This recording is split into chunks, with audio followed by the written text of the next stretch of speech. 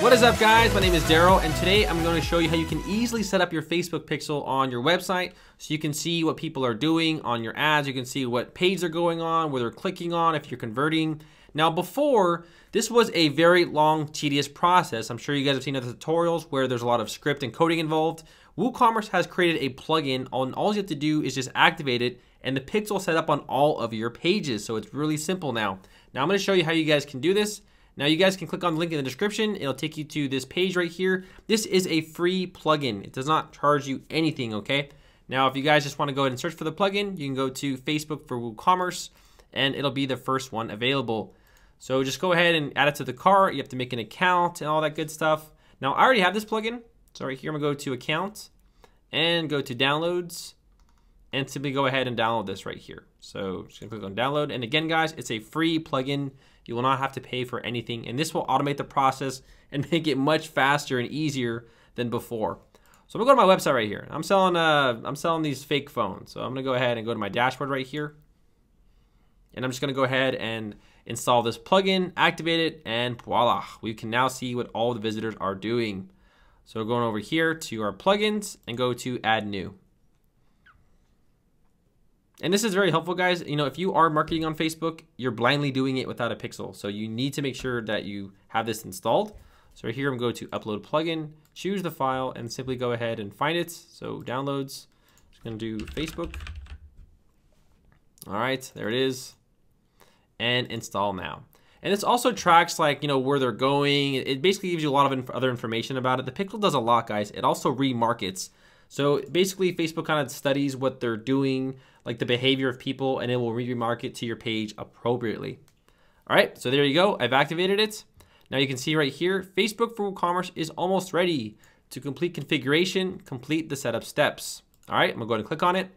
Now, if you guys don't know how to get there to this section, you can just go to WooCommerce settings and click on the integration tab. All right. Now, this plugin ideally is supposed to take all of your products and actually import it on Facebook. So you not only get the Facebook pixel set up, but you can also have the ability to take all of the products and import them on your Facebook page. But you don't have to do that. It's an option. I actually have another tutorial on that. So if you're interested, there is a link in the description to that other video. But right now, I'm gonna go to get started. All right, so again, right here, what they are going to do for us, we're going to choose a page, we're going to install the Facebook pixel, and then of course, this is optionary, but uh, I recommend doing it. You can import your products from your store onto Facebook automatically. It syncs up, it's amazing. So right here, I'm gonna go to next. You're gonna have to choose a Facebook page. So I'm just gonna select this one right here. I already have a pixel and all those other ones set up.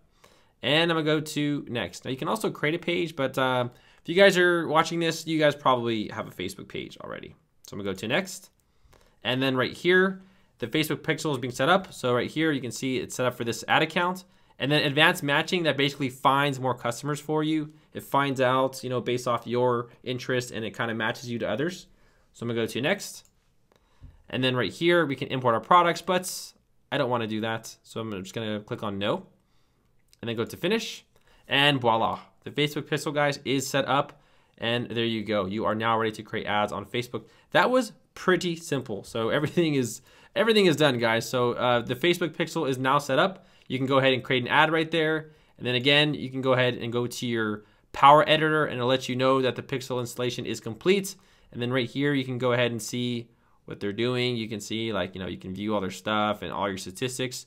So it's a really cool plugin that they created for free instead of all that hassle that we had to do before because it was a pain, man, to, to get your stuff set up. Like you had to like, you know, enter in script and everywhere. And if one thing was missing, it didn't work. You had to put that on every single page. Like it was, it was a nightmare. So hats off to WooCommerce for making that plugin, okay?